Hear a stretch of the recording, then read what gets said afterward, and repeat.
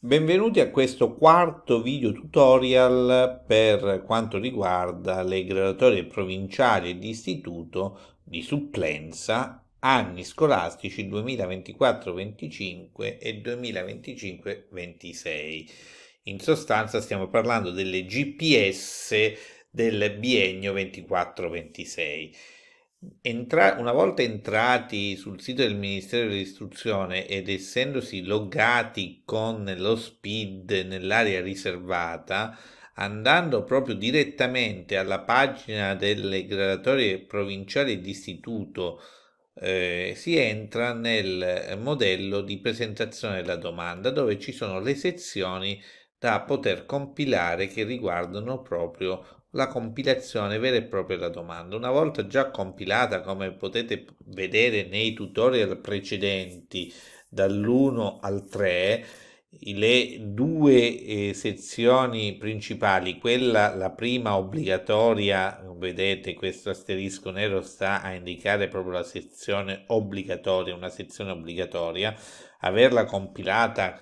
indicando tutti i, i le graduatorie per cui si ha titolo di accesso e dunque avendole indicate e poi avendo compilato i titoli ulteriori rispetto al titolo di servizio per ogni singola tabella di valutazione delle graduatorie inserite, andiamo a vedere come si compila la sezione dei titoli di servizio. Titoli di servizio sono fondamentali per, perché il servizio dà punteggio che inizialmente può essere un punteggio di natura specifica e dunque dare la garanzia del punteggio fino a 12 punti per anno per quanto riguarda la classe di concorso specifica, ma eh, darà anche per tutte le altre di concorso classi di concorso non specifiche la metà del punteggio. Fa eccezione il sostegno perché il servizio prestato sul sostegno è specifico sulla graduatoria di sostegno di eh, specifica, ma è anche eh, dà lo stesso punteggio specifico per tutte le classi di concorso del medesimo ordine e grado di istruzione. Per cui chi fa per esempio servizio su ADSS e poi vuole spendere questo oh, servizio specifico per tutte le classi di concorso della scuola secondaria di secondo grado, lo potrà fare eh, facilmente perché ha diritto ad avere i 12 punti a cascata, mentre avrà i 6 punti, cioè la metà del punteggio, il 50% del punteggio nelle classi di concorso di un ordine e grado differente. Andiamo a vedere come si compila la sezione dei titoli di servizio. Si accede,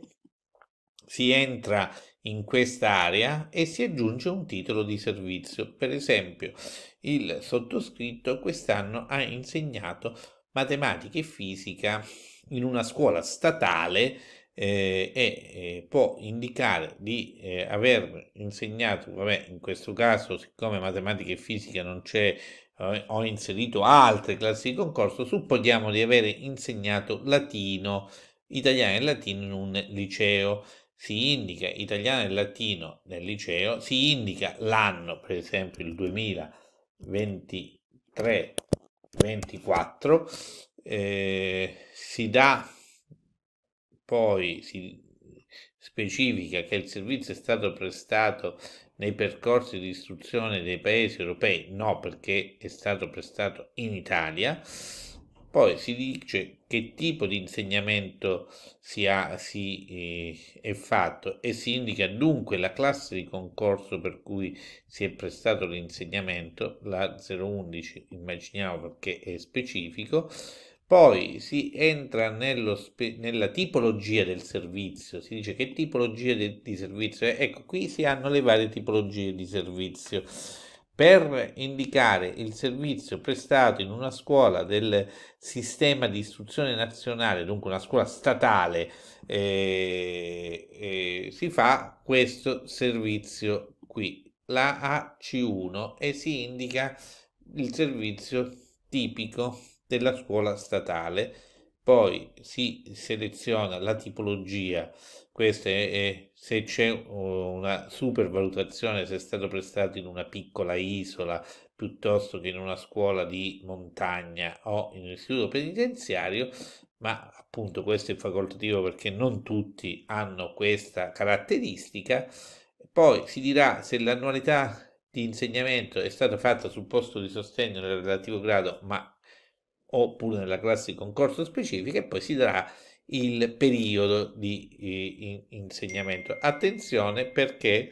in tal caso il periodo va, è un 23-24 dall'1 settembre ad esempio del 23, ma la data di fine non può superare la data di eh, presentazione della domanda che scade appunto il 10 di giugno. Dunque si può inserire fino al massimo del 10 giugno.